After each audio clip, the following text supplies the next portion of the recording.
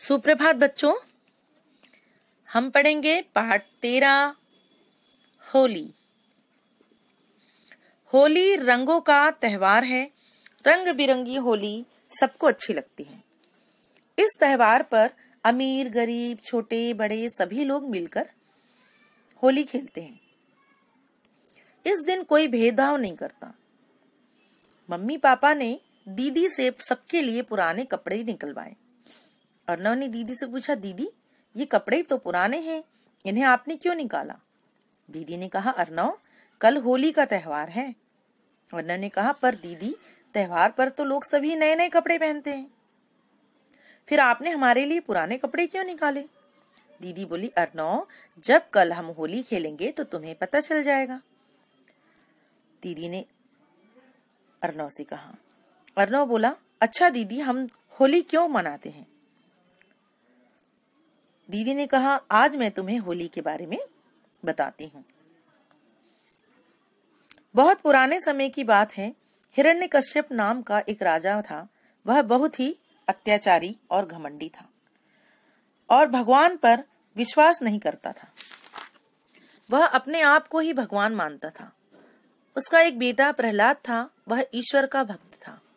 राजा को यह अच्छा नहीं लगता था और वह चाहता था कि उसका बेटा भी उसकी प्रजा की तरह ही उसकी पूजा करे।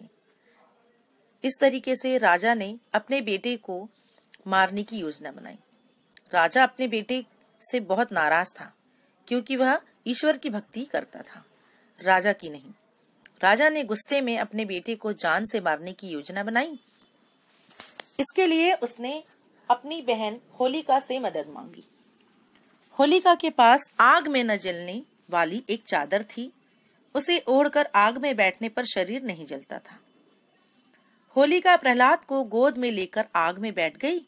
उसने सोचा कि राजकुमार प्रहलाद जल जाएगा। थोड़ी देर में तेज हवा चली और जिससे चादर उड़कर राजकुमार प्रहलाद पर आ गिरी। प्रहलाद बच गया और इस तरीके से होलिका जलकर राख हो गई। तब से लोग फाल्गुन मास की पूर्णिमा की रात को लकड़ियाँ इकट्ठी करके होली का दहन करते हैं। और इससे धर्म की जीत होती है। इससे इसके दूसरे दिन रंगों की होली होती है। लोग एक दूसरे पर गीले सूखे रंग डालते हैं। गुलाल लगाकर गले मिलते हैं और गले मिलकर होली मुबारक हो, होली मुबारक हो कहते हैं।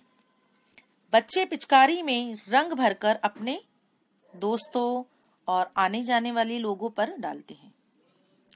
कुछ लोग रंग बिरंगे रंग उड़ाते हैं, कुछ बच्चे कीचड़ और रंग, गंदे रंगों का भी इस्तेमाल करते हैं, इसलिए पुराने कपड़े पहनते हैं, ताकि नए कपड़े खराब ना हो। कीचड़ और गंदे रंगों से होली नहीं खेलनी चाहिए, क्योंकि ये हानिकारक है। अर्नव ने कहा, दीदी, मैं भी कल सबके ऊपर रंग डालूँगा। दीदी ने कहा पिचकारी और गुलाल से ही होली खेलना कीचड़ से नहीं।